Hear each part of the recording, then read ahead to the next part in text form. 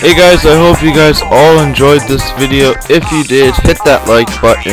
And if you guys want to follow me, check out the links down in the description below. Thanks for watching, and I'll see you guys on a new video.